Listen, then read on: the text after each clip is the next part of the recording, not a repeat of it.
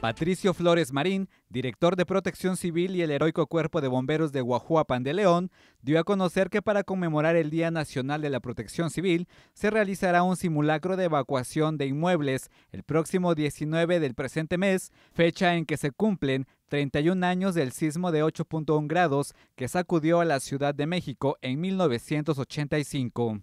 Abundó que este ejercicio ciudadano de prevención se realizará en coordinación con el Consejo Municipal de Protección Civil de esta ciudad. Participarán instituciones educativas, dependencias gubernamentales, comercios, así como instancias municipales y sociedad civil.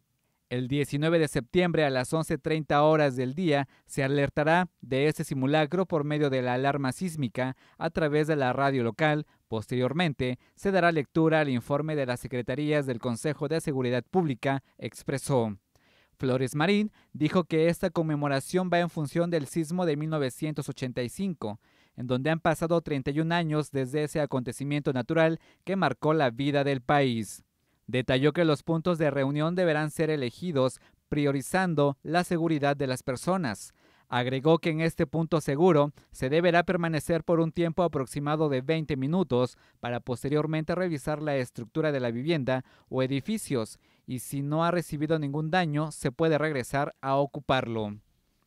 Apuntó que para las personas que laboran en edificios de más de tres pisos que ya existen en la ciudad de Guajuapan y que no logran evacuar el inmueble, deberán refugiarse en las zonas seguras o de menor riesgo que en este caso son los pilares de los edificios. MVM Televisión.